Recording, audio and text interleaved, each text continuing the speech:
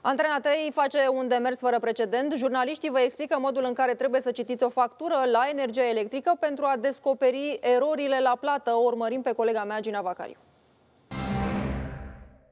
Antena 3 te învață cum să-ți calculezi reducerea pentru factura la energie electrică, dacă ai beneficiat de compensarea și plafonarea de la stat.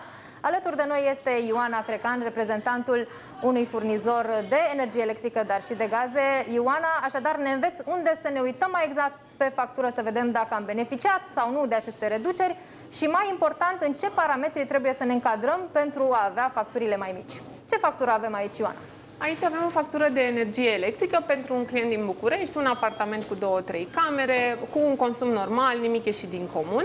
Primul lucru la care trebuie să ne uităm în factura de energie este la cantitatea pe care uh, clientul o are facturat. Avem 176 de kWh facturați, ceea ce înseamnă că se încadrează în limitele uh, din legislație de 30-300 de kWh pe lună.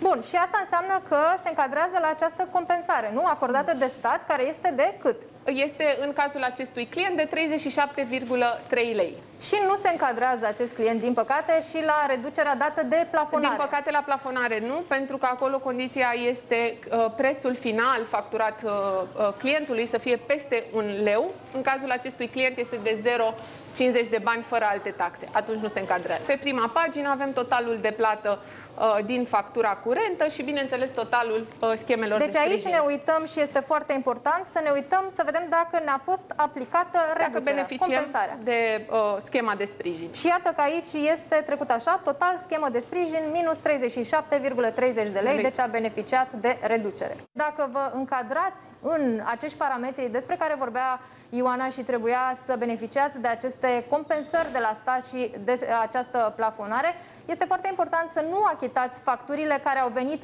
fără aceste reduceri și ar trebui să vă îndreptați către furnizor și să așteptați factura recalculată.